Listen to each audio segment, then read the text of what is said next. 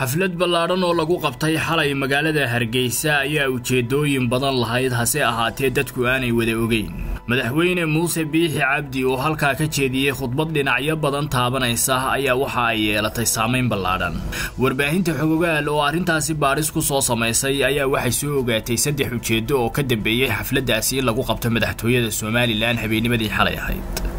Waxaana aynu ku soo koobi doonnaa warbixinteennan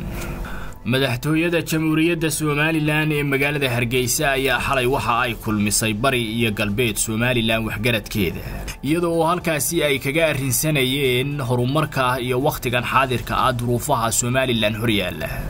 munaasibadan ayaa lahayd ujeeddooyin gun weyn kuwaasi oo somalilan ay wakhtigan xaadirka caqabadaha horyaalla kaga gudbayso waxaana kow ka ahaa qalalaasaha muddooyinkii ugu dambaysay ka aloosan magaalada laascaanood xarunta gobolka sool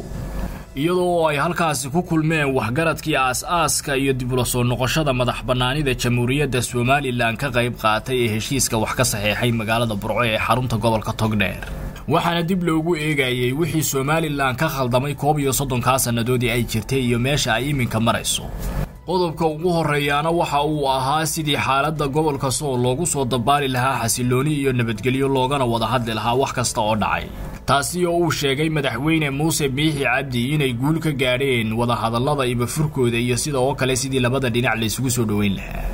Qodobka labaad ayaa ahaa wadajirka iyo midnimada jamhuuriyadda somalilan sidii loo adkayn lahaa oo wakhtigan xaadirka ah meelo badan oo aan laga jeclayn ay jirto waxaana ay dhammaan waxgaradka iyo madax dhaqameedku isla qaateen in meel looga soo wada jeesto cid kasta oo ka soo horjeeda jiritaanka jamhuuriyadda somalilan. Halka qodobka ugu dambeeyaana uu ahaa is-xogwaraysi iyo sidii ay wax laysaga weydiin lahaa somalilan meesha ay iminka marayso iyo waxa ka dhiman. Sidii loo higsan lahaa aqoonsiga caalamiga ah ee ay somalilan u soo xusulduubaysay koob iyo soddonkii sannadoodii ugu dambaysay dhammaanna xafladda iyo wefdigii ay kulmisay waxa ay ku soo dhammaatay safgarad iyo jawi nabadgelyo iyada oo la isla qaatay. Qodobo wax ku oola oo xalu noqon kara dhacdada laascaanood muddooyinkii ugu dambaysay ka aloosnayd iyo guud ahaanba somalilan ka farxi ehelkaaga asxaabtaada iyo qaraabadaada.